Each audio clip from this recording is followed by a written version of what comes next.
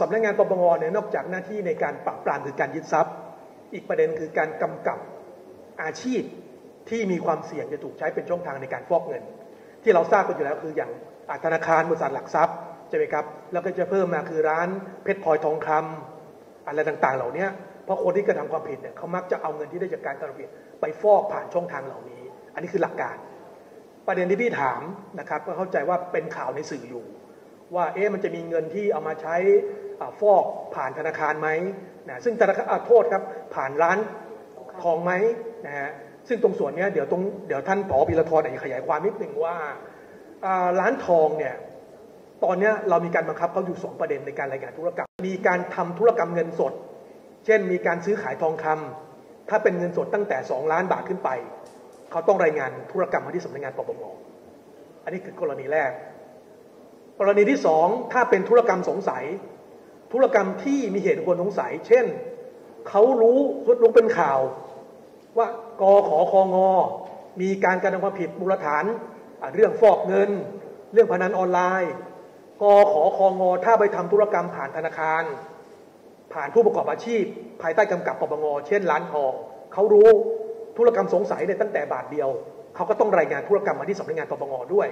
นะฮะเพื่อบังคับให้เกิดร่องรอยแล้วปปงไปตรวจสอบต่อตรวจสอบต่อ นะครับคำถามว่าแล้วถ้าไม่รายงานล่ะ ไม่รายงานถูกปรับกรรมละไม่เกินหนึ่งล้านบาท อันนี้คือผู้ประกอบอาชีพนะครับ แล้วก็ปรับถ้าจะมีการฝ่าฝืนอยู่เนี่ยวันละหนึ่งหมื่นบาท ต่อไปจนกว่าจะมีการปฏิบัติที่ถูกต้อง เป็นการบังคับล่องลอยมา ทีนี้ในกระบวนการตรวจสอบมาตรการทางแพ่งปปงเนี่ยเราตรวจตลอดเวลาในหลักการนะฮะตรวจตลอดเวลาในเคสเนี่ยในคดีหลักเนี่ย ในส่วนของกองคดีเราได้มีการยึดอายัดทรัพย์สินเบื้องต้นไปแล้วบางส่วนหนึ่ง แต่ว่ามาตรการทางแพ่ง ถ้าทรัพย์อยู่เรายึด ทรัพย์เจอเรายึดนะครับ ถ้าไม่เจอล่องรอยดังกล่าวเนี่ยเราก็สนับสนุนทางสำนักงานตำรวจ ในการดำเนินคดีในอาญาในส่วนของคดีความผิดอาญาฐานฟอกเงินที่ต้องไปดูว่าทรัพย์หรือเงินที่มันเป็นสายเส้นทางมาเนี่ยมันไปที่ใครอะไรไงบ้าง อันนี้ก็เป็นเรื่องที่ปปงเราสนับสนุนไป แต่ปัจจุบันเนี่ย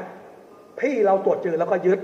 ในอนาคตถ้าตรวจเพิ่มเราก็ยึดเพิ่มนะนี่คือมาตรการหลักๆของปปงในส่วนของการยึดทรัพย์ และในส่วนของการกำกับการปฏิบัติของอผู้ประกอบอาชีพภายใต้กำกับของเรานะฮะประเด็นเรื่องการตรวจสอบ ร่วมกันทำอย่างนี้ฮะอย่างที่เล่าให้ฟังว่าทรัพย์ดังกล่าวเนี่ยถ้าปปงเจอแล้วมันเป็นทรัพย์อยู่ แล้วต้นทางมาจากการผิด อันนี้ปปงยึดปปงยึดนะครับ ทีนี้ในเรื่องอาญาฟอกเงิน หน้าที่หลักคือตำรวจ